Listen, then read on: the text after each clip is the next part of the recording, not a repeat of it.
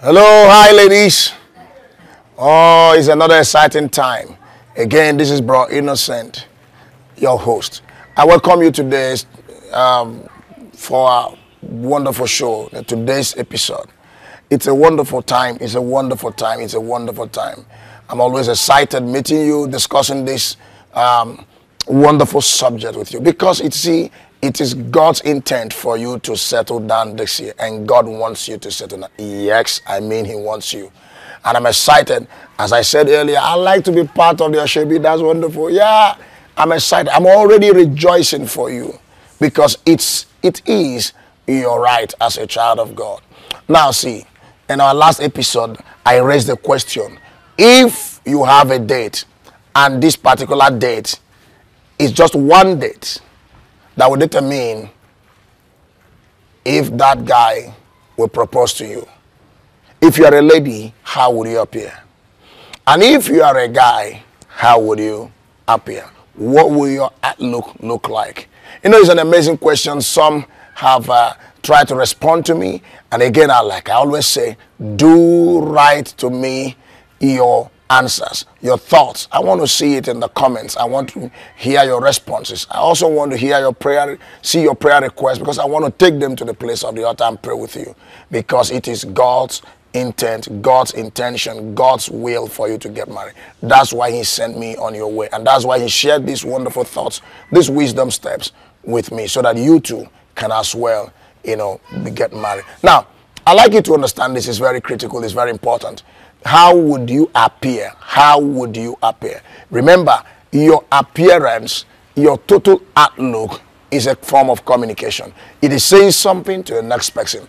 It's either saying to them that you are ready or it tells them another thing. Remember what we had discussed in our last episode. It can give absolutely an image of you that is not right, that is wrong. It can distort the picture. You must understand that. It is critically important that you do understand that. That how you dress can distort the image that someone has about you, concerning you. You know, it's a proven fact. It's a very interesting thing that you understand that. The moment you dress up, you give some other person a picture of you. You are saying something without speaking words because dressing is a form of communication. Remember, it's your entire outlook from your hairdo to the shoes, the things you wear, and all of that your makeup, all of all those things is uh, critically important. Now, today, uh, because, uh, you know, the question I raised, remember, again, we had said that, uh, you know, when at all times someone is observing you, someone is observing you, someone is looking at you, either to propose or to recommend.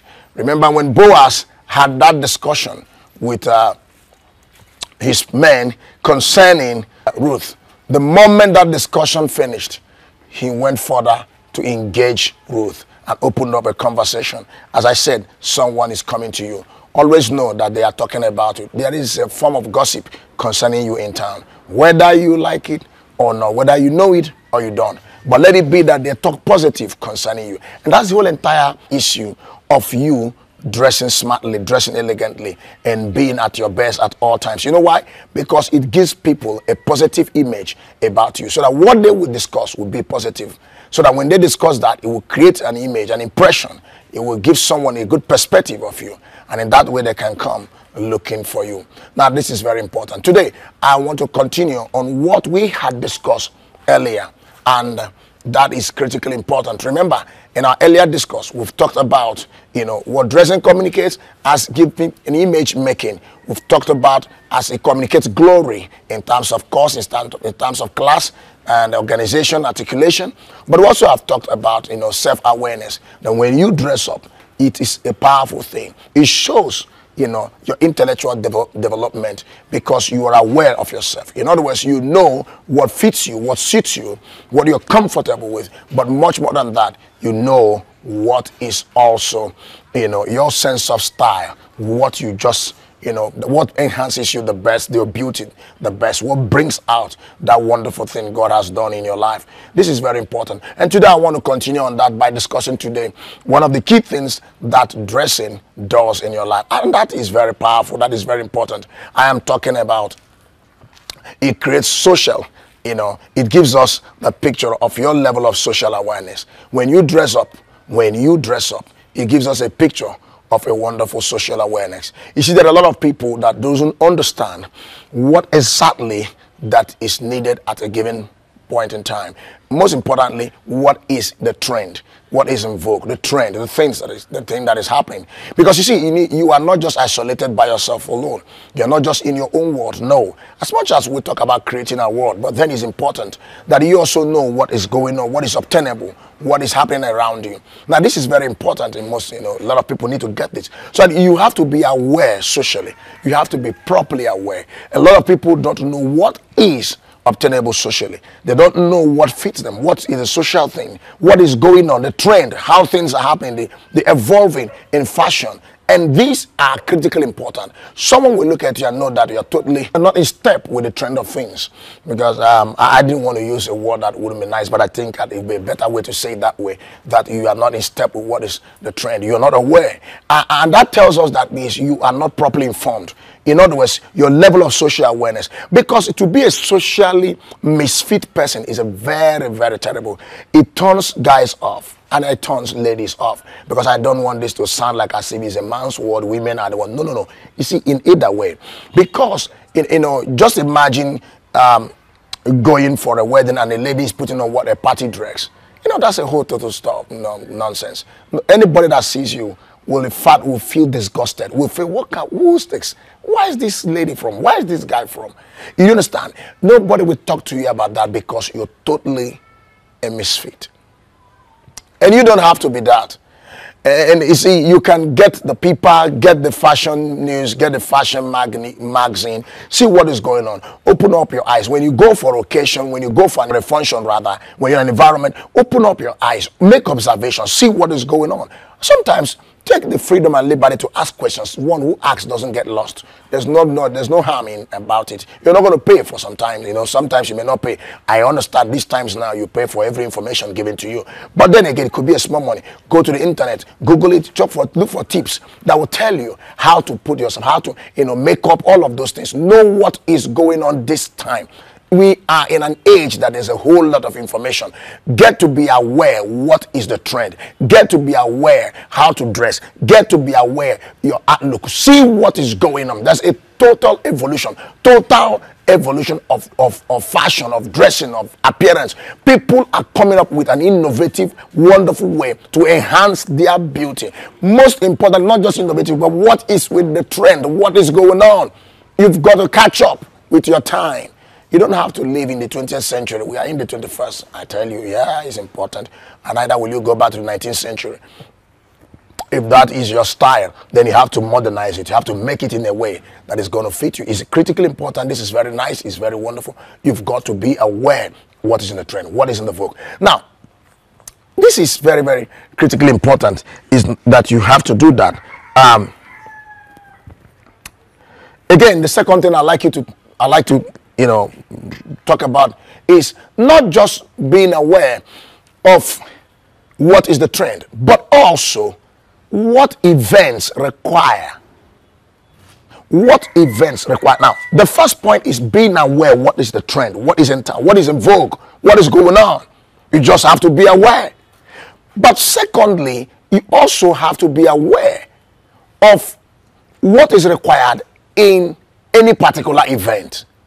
And so your closet and the way you look doesn't have to just be anyhow. No, no, you have to carefully and intentionally prepare yourself, dress, you know, um, I, wouldn't say take care of your outlook because it's critically important. You cannot be going for a wedding and you are in an outfit that is just for work.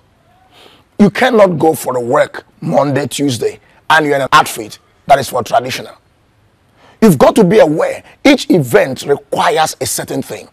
Each event requires a certain way of dressing. This is important. You know why? One of the things I want you to understand is that this reveals your mental development. It reveals your development, your awareness. It's critically important that you know this. Because you see, a lot of people are just short in their word. They are just there. No, that's not it. Because you see, you man is a social being. You need to understand that. You know why? When a man sees a lady, for instance, okay, and, and is looking at you, and he, he can't see this this level of awareness, this level of social development, this level of you know um, awareness. I like to say.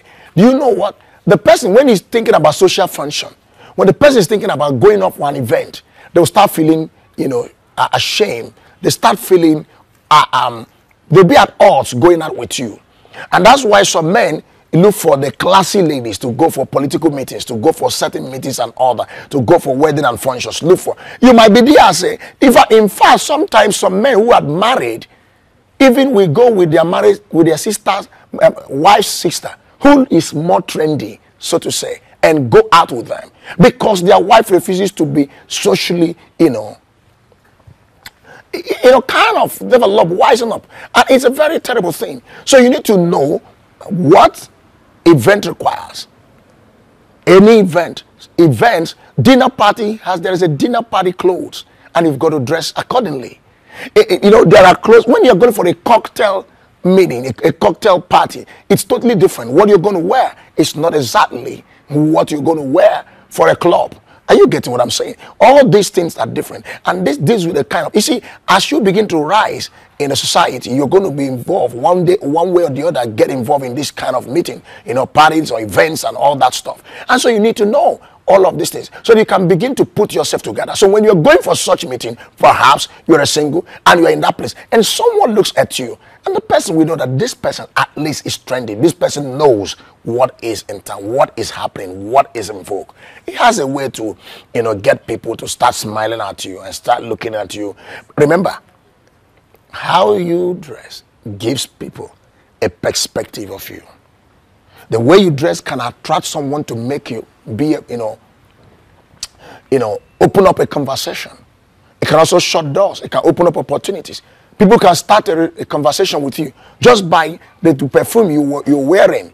You wear perfume that is wonderful, and somebody say, "Wow, I like this," and that's how they started. How are you? This conversation starts from there because you know what is in vogue.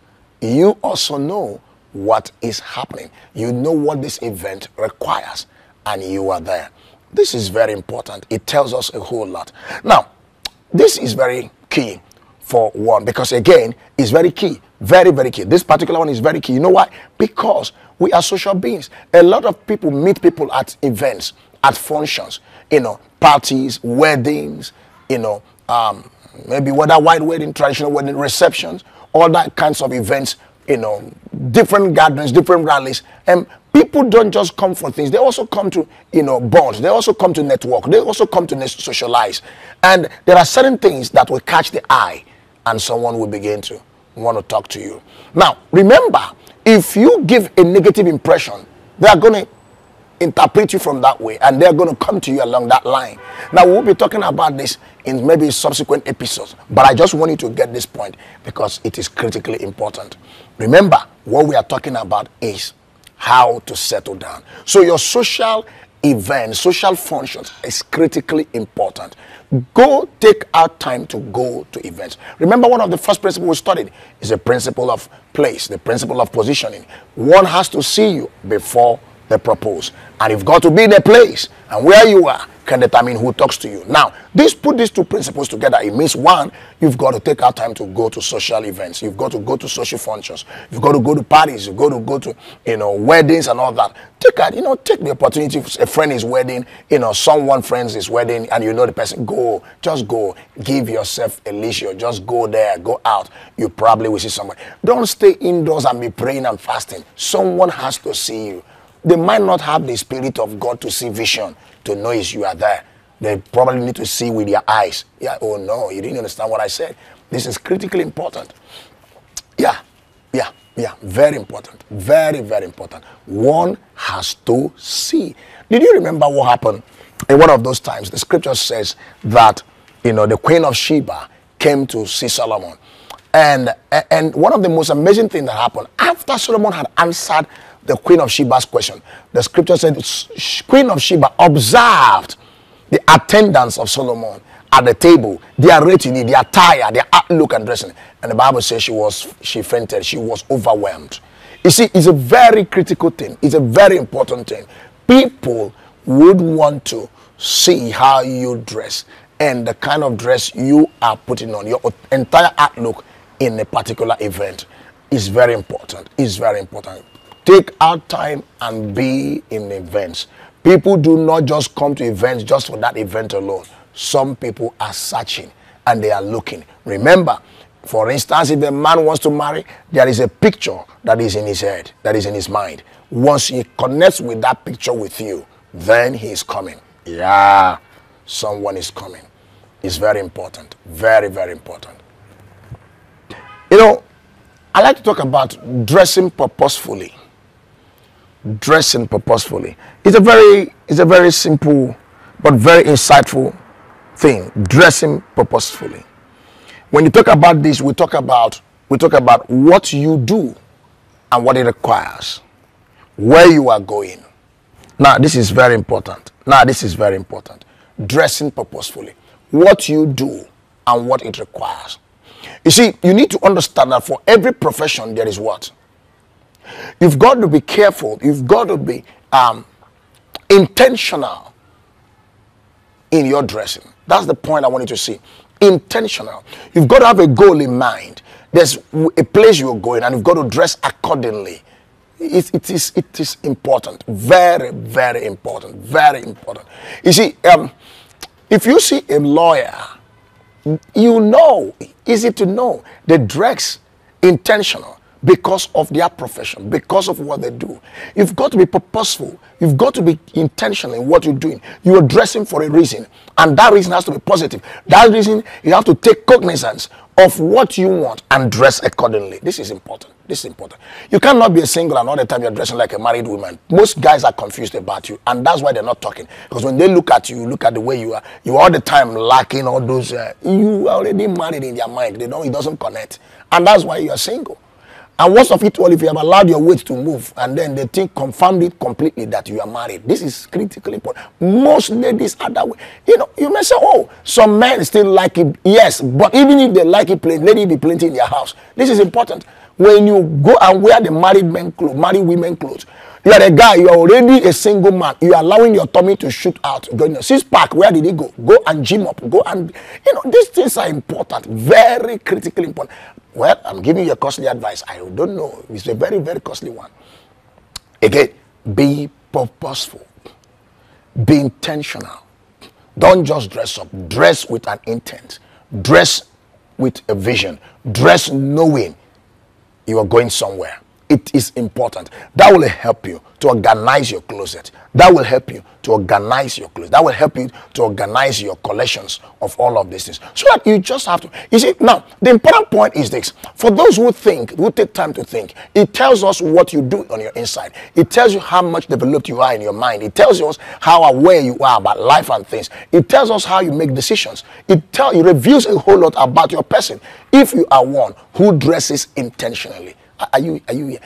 Are you here? Are you listening to me? I'm I'm talking to you. It's important. I hope you got what I just said because it is for your good. Something is about happening to you. Remember, God is bringing someone to you. You know when the Bible says, when the scripture says, yeah, um, a man that findeth a good wife. You see, they have to find. But when they see you and see you wrongly, they're not going to find you. You need to get it right. Someone has to find you. And for them to find you, if they see you, then if you're not right, they're not going to look your direction. If they didn't see you, then you are still the one losing. I'm telling you now. Very important. Very. And if you are a guy, I just mentioned it, and you just dress carelessly, dress just, you know, tatteredly, just haggardly, you know, you allow your your shirts are never properly ironed, things are just come. No serious-minded girl will take you. I'm just the moment you say hello, hello, they look at you, they're off, they're on their way. Because to them, you are just going to be a disaster to their life. It's important. Now you might be a nice person, a wonderful person on your inside, have a good life, could even be a you know a born again, spirit filled. I'm telling you, most born agains are still there. Spirit filled. They think it's about speaking in tongues. Let me tell you, there is only God that sees the heart. It is here we see with the eyes. First Samuel chapter 16 is very critically important. When the scripture said, and God sent Samuel to the house of David, the Bible said immediately uh, Samuel saw Eliab. He said muscular, six pack, tall, Wonderful. The scripture said immediately, Samuel said, "Mhm, This is the one. God said, No, I see the heart. You see, men see the physical outlook. God see the heart. You are not God. You are a man. You need to see. Now, you have to help those who see you to know that you are serious. Oh, he didn't hear me. He didn't hear me. He said, Oh, but man of God, this can be deceptive because if you do like this, you are not appearing at your age. No, that's foolishness. You have to be wise. I'm not talking to those who want to be deceptive. I'm talking about God's children who have to help themselves. Now, you don't need to help God. You just need to be at best. And that's why God is giving you the wisdom steps. These are God's word. These are God's word. Let me say it again. This is God's wisdom. What I'm sharing with you is from the living word. Remember when Esther went to go and see King Hazer- um, uh, was she just anything, anything goes, anything goes? You know, it was a meeting with a king. She has to appear at her best. She has to appear in a manner that King Hazerus will put that crown on her head. Let me, you know, wind up with this very concluding thought based on the question I asked last time. Remember, this lady had one opportunity. You know, now we have programs that people have turned around and said, one night with the king. You know, that's beautiful. If you have one outing, one date, just once, you are going out for a date with a guy, how would you appear? That is the point. Remember how Esther appeared. She must have come at her best. Now, hold on a second. What is it that the king saw that she did not see in other ladies? First question. Remember, you may not say, ah, because Esther was the most beautiful. No, the scripture said all the ladies that were in the harem were what? Beautiful. That's the first criterion for you to qualify to come to that place. That's number one. Queen Vashti in Esther chapter 1, that the king deposed, the king, you know, you know, divorced, was beautiful, the scripture said. So it's not beauty that the king is looking for. Number two, could it be, or would it be that the king was looking for um, some form of a lady to sleep with, the one that is the most wonderful at bed? No, that king must have a demon inside him to be sleeping with all these ladies for every day, every day, every day for some months. Something is not possible. That's not what he's looking for.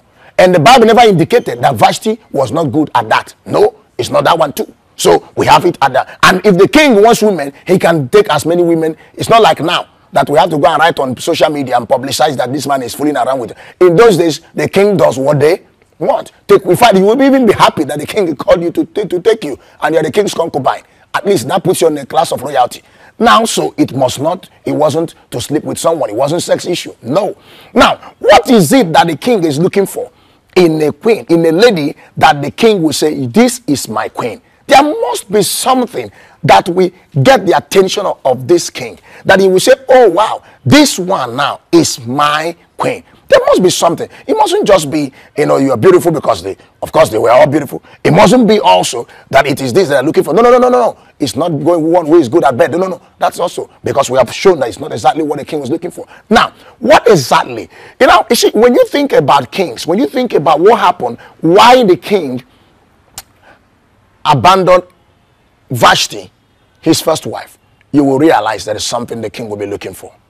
In Esther, in her outlook, in her appearance, the king will be looking for someone that he can find honor, someone that communicates to him, someone that he can see security in, someone by looking at her appearance, the king will say, I have found someone that after I fight wars and politics and all that, when I come, I have someone to comfort me. I have someone that I can lean on. I have someone I can trust. I have someone that is smart in the head that I can engage in. I can engage, I can discuss, I can have things.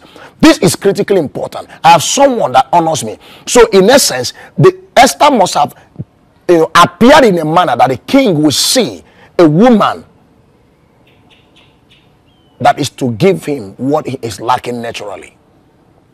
And I tell you, may not necessarily be beautiful. We've shown that all the ladies were beautiful. May not also be someone who is good at bed because the king can have it all the time, anywhere, anytime he wants. So, what was the king looking for? You see, there's something about kings, something about kings you must understand. Every king wants to have a woman who still knows him and respects him as a king. And that king must see it in that appearance of that lady and in their conversation. Very key. I can imagine.